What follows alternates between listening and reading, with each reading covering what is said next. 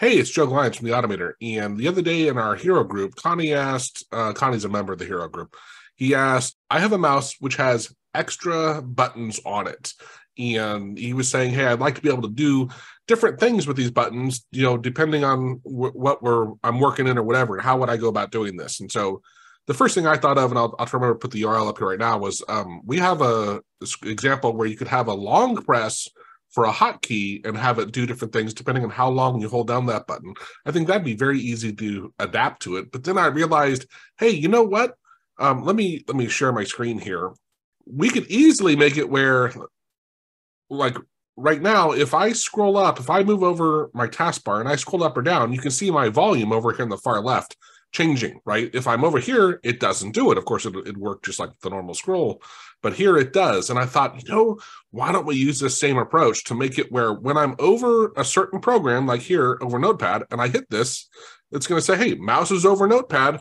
But if I click it here, its mouse is not over any of these because I've also built it to where if it's over the taskbar, it's over that. So What's really cool about this to me is the program isn't active, right? We are just mousing over it.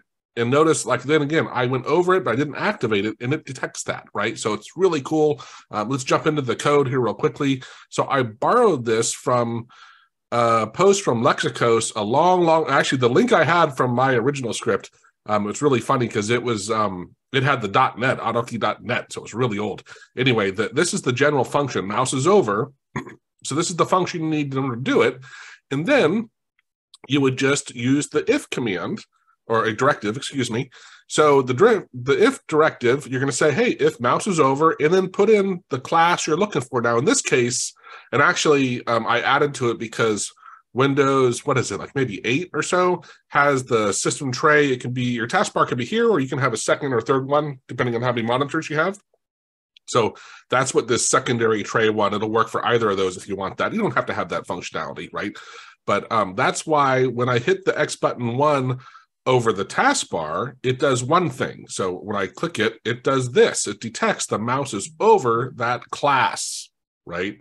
Um, when I'm over Notepad, and this, so this one we're using a class, this one we're using the EXE, and then of course I throw in this last if to turn off the context sensitivity, and this will just say, hey, it's, if it's neither of those, it's, it's not over any of them, right? So I just said I just turn it back off, and it just is a default one, right? Let's let's add Studio. Let's show you. So you know the simplest way would be to right click a running script, say Windows Spy, click in. So here's Studio. So I could either take this one and use it as the exe example, or I could take the class example. Let's go ahead and use the class example um, so let's, here's the class example. I'm to duplicate it, get rid of that. Oh, I don't need that. Move that to here. And then I'm to put in that full thing here. So now we're there, and let's of course take the this one and mount over Studio. So now reload my script. now when I press it, hey, mouse is over studio, right? So just imagine how you can tie, and of course, you don't have to use, I'm using this X button one, which is one of those extra kind of buttons on your mouse.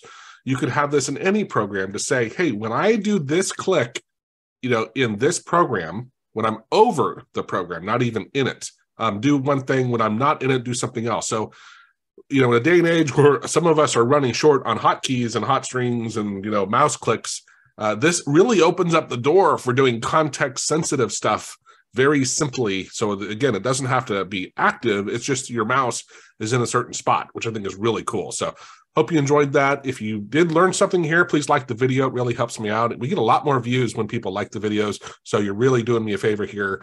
Um, if you aren't a subscriber, consider subscribing. We release usually two to three videos a week. And we're the largest auto AutoHotkey channel. I have over 1,200 videos on auto AutoHotkey. And if you're not a subscriber, really consider subscribing because we, we release some really cool stuff. We do a lot more advanced stuff than you know what most channels do. We don't really teach you exactly little specifics. This is kind of a, a niche where it's it's a little different, right? It's a different approach. Uh, but there's lots of great stuff, and we keep dumping out great videos. So give it a give it a consider, or join the hero group. I'll put the link up here uh, it's a great group. We we give you access to our private Telegram, and then twice a week, well, two hours on Fridays and one hour on Saturdays. We have private Zoom calls. We don't stream to YouTube, and we just help work with the the hero members. And then, of course, during the week, people are asking questions all the time in Telegram, and then we, you know, point them in the right direction. We don't always jump in and Zoom to help them, right? But we can point them in the right direction. And it's just like having an AutoHotkey expert at your fingertips, right? Where you can bounce a question off and get some quick direction. So, give us some thought. Thank you. Have a great day. Bye.